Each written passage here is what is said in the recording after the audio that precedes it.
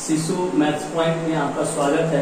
तो आज हम आप सभी को सिखाने जा रहे हैं सेम डिजिट करना और सेम डिजिट के गुना करने के लिए आप सभी को एकदम दो सेकेंड में लगेगा और ये आपकी सॉल्यूशन कंप्लीट हो जाएगी। जैसा कि एक बोर्ड पे आपको देखा जा रहा है कि जितने अंक में जो लेटर होगा, उतना अंक तक हमको लिखना है बढ़ते क्रम में और फिर घटते क्रम में। जैसा कि एक, दो, एक उसी तरह तीन को डिजिट वन है तो वन टू थ्री और फिर घटेंगे तो टू वन उसी तरह से फोर है वन टू थ्री फोर और घटते क्रम में आएँगे तो थ्री टू वन और उसी तरह से, जैसा कि आप सभी ने देखा कि ग्यारह का वर्ग एक सौ इक्कीस होता है, उस तरह से एक सौ इक्कीस मल्टीप्लाई कर देना है, दो का स्क्वायर चार से गुना करेंगे तो ये आएगा।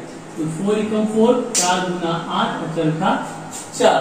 उसी तरह से ये तीन अंक में दो दिख रहा है, दो सौ बाईस तो वन टू थ्री और घटेंगे फिर तो जाएगा टू वन मल्टीप्लाई करना दो का स्क्वायर चार. दो का स्क्वायर कितना होता है? चार. इसको गुना कीजिएगा.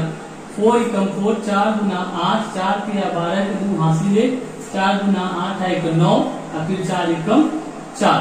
उसी तरह से तीन सौ तैतीस.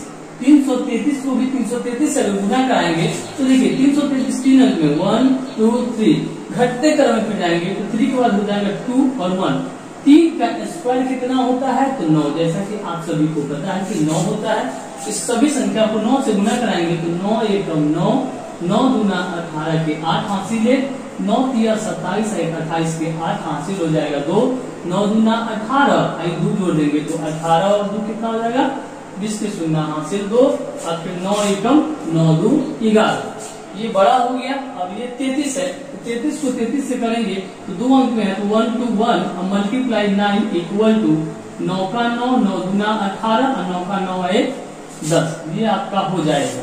इसी तरह से कितना भी संख्या होगा सेम डिजिट इसी तरह से गुना करेंगे